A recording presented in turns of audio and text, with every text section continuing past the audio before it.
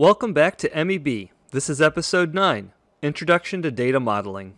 Last episode, I taught you how to use linear interpolation to fill in the gaps between given data points in a table. However, I really didn't tell you the full story. Interpolation is great, but it's not perfect. The further apart the given data points are, the worse the linear approximation becomes. Take the example that we did last time. If we had fewer data points, you can see how much worse the linear interpolation would be. The need for something better is what brings me to the topic of this episode. Some chemical engineers make their whole career out of modeling data. In a nutshell, data modeling is the task of predicting the value of a dependent variable given one or more independent variables with an equation. For example, data modeling could be predicting the dependent variable of the heating value of biooil grown from microalgae, given the independent variables of lipid, carbohydrate, and protein content of the algae species. By the way, this was one of my undergraduate research topics, and I love to talk about this.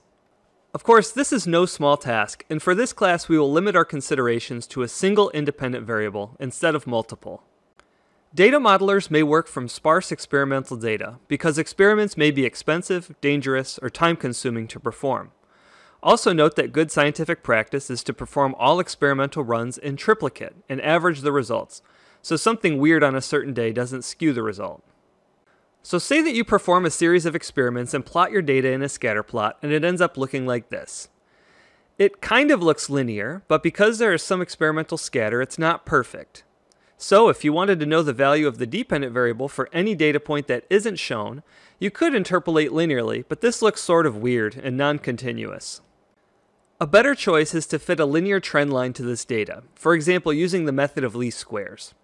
Now I can simply use the equation of this line to obtain the value of y for any value of x that I want. All I have to do is plug it into the equation of the line. Linear trend lines are nice because there are only two parameters, slope, and intercept. But of course, not all relationships between variables are actually linear. They may be quadratic, exponential, exponential decay, logarithmic, or more. For this class, we aren't going to get into all the nuances of modeling data, but the one thing I want you to know how to do is linearize a data set. This is the process of taking a relationship and algebraically manipulating it such that it resembles the y equals mx plus b form of a straight line. Perhaps this is best learned by example. Let's suppose that we wanted to model the growth of bacterial cells in a flask. Here the number of cells is the dependent variable, and time is the independent variable.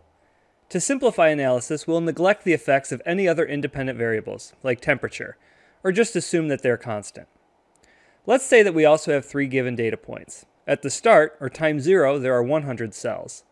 Two hours later, there are 200 cells, and four hours total, there are 400 cells. Plotting this data regularly confirms the suspicion that bacterial growth does not seem linear. If we hypothesize the form of this equation is exponential, we have just two parameters to find, c0 and k. Clearly though, we can't determine the values of these parameters by fitting a straight line to the data in the current form. However, what if we took the natural log of both sides? Well, now we have ln of c equals kt plus ln of c0. This is the equation of a straight line in disguise. So instead of plotting the number of cells as a function of time, let's try plotting the natural log of the number of cells as a function of time. And look at that, the data points are now on the same line. I can now look back at my linearized equation and notice that the slope of this line is just the constant k and the intercept is the natural log of the constant c0. By calculating slope and setting it equal to k, and calculating the intercept and setting it equal to ln of c0, I can obtain the values of both parameters. Going back to the original equation, I now have an expression for the number of cells as a function of time. I can plug in any value of t that I want, and I can calculate the corresponding number of cells that I'd expect. To recap, the steps involved in data modeling by linearizing are 1. Hypothesize a general form of the equation. As an aside, in my class, the general form will usually be given to you. 2. Algebraically manipulate the equation to get it into y equals mx plus b form. 3. Plot your data points according to the y and x in the linearized form. I have quotation marks here because y and x may not be literally y and x, as we just saw. 4. Fit a linear trend line and relate the slope and intercept of the line to the parameters. 5. Plug the parameters back into the original equation, which you may now use to confirm or predict the values of the dependent variable for any independent variable. Episode 5 Learning Objectives.